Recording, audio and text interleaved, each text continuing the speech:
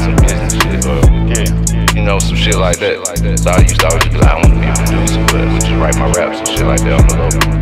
But um, yeah, I just got to start making my own beats and it really just fell in love with that and just the process of that. And I was like, you know, if I put 100% of my, of my time on just making beats